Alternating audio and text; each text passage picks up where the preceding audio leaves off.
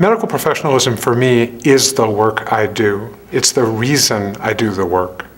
The work may be a series of things. It may be phone calls, it may be physical exams, it may be making a diagnosis. But for me, the important thing is to be of service to my patients. The way I look at the world, I have a sign on my door that says, if you think you have a medical problem, come here and we'll try to help. So medical professionalism for me is trying to make good on that commitment every day.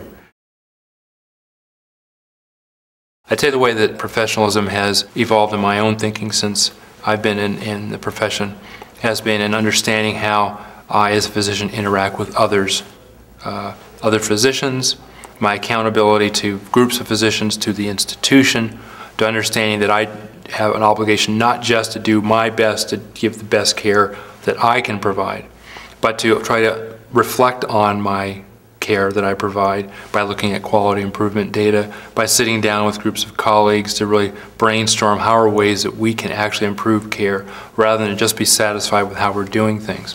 It involves uh, interactions with other non-physicians, so nurses, uh, respiratory therapists, pharmacists, et cetera, with hospital administration. So there's kind of a community uh, uh a sense of working within a community of people who are trying to deliver care to patients. And that's a broader sense of professionalism than I think I probably realized earlier on in my career. I think there is a role of medical professionalism in achieving our new goals of affordability, um, quality, and accessibility. Um, it's, a, it's a matter of wondering how we are going to change the paradigm now to focus on our new emphasis, uh, not just the primacy of the patient, but it's the welfare of the patient in the context of evidence-based, team-based care, um, appropriate use of resources, not inappropriate use of resources.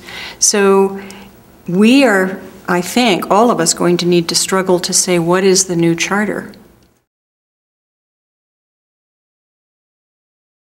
if you don't look at medical professional values and the core ethical principles underlying them, then we might as well let market forces work. Let regulators decide what they want to do.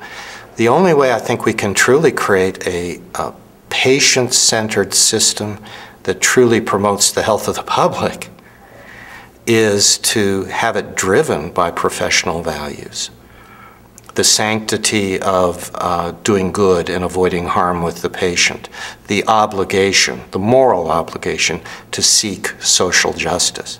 I think those are absolute preconditions of any real transformation of the American healthcare system.